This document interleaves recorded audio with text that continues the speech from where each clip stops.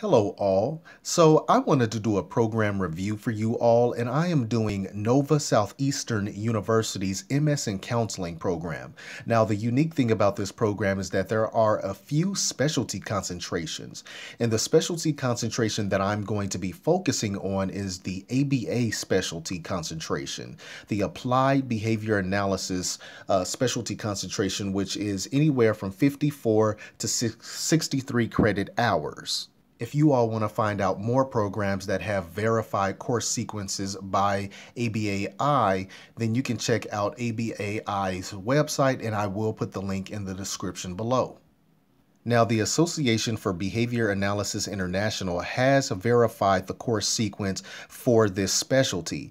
This is a 21 credit hour specialty, and there are 33 credit hours for the core courses. Now, if you also want to be licensed as a counselor through this program, then you may have to take additional courses. As I mentioned earlier, this is 54 hours to about 63 hours, so you may have to do the full 63 three hours if you want to be able to be licensed as a counselor as well as being certified as a behavior analyst.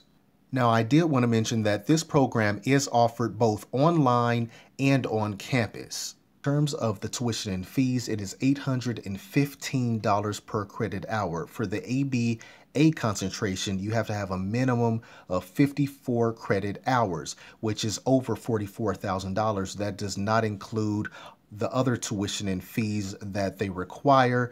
So this program is easily around $50,000. To let you all know a little bit more about the specialty, I'm going to read the description that is on NOVA's website.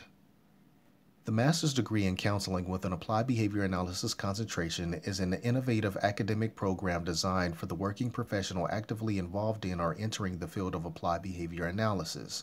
The online format is particularly designed for those who seek advanced training in the convenience of distance education. The program focuses on developing clinicians informed by science with classes taught by professionals who are active clinicians and researchers in the field. The Association for Behavior Analysis International has verified the course sequence toward the course requirements for eligibility to take the board certified behavior analyst examination applicants will need to meet additional requirements before they are deemed eligible to take the examination. Now, the admissions requirements are as follows. They want you to have a 2.5 GPA or higher in the last 60 semester hours of your undergraduate program or a master's degree with an overall GPA of 3.0 or better. They also want you to have a 300 or higher on the combined verbal and quantitative sections of the GRE taken within the past five years or other similar measures. They also want you to write a personal statement.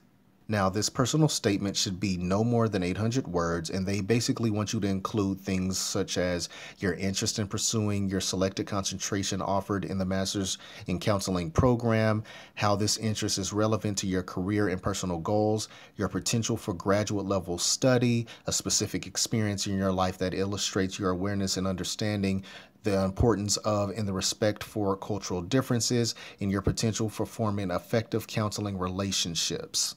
This program is also requiring that you have two letters of recommendation. It can be from academics or professional letters of recommendation. Now, an interview may be required for admissions. Now, keep in mind if you are a non degree seeking student who wants to get into the verified course sequence program for ABA, they require that you have a master's degree from a re regionally accredited institution. Now on their website, they do have a Q&A section and I did want to read what they say about does the ABA concentration meet all the requirements for BCBA certification? And they say the Behavior Analysis Certification Board has indicated that students may be advised that the coursework sequence meets the BACB's coursework eligibility requirements. The academic coursework is offered through the concentration. Experience requirements for certification can be met through elective practica in the program, or the student can seek supervision on his or her own. Following completion of academic coursework and supervision, students will still need to pass the certification exam offered by the Behavior Analysis Certification Board. And then they give the BACB's website.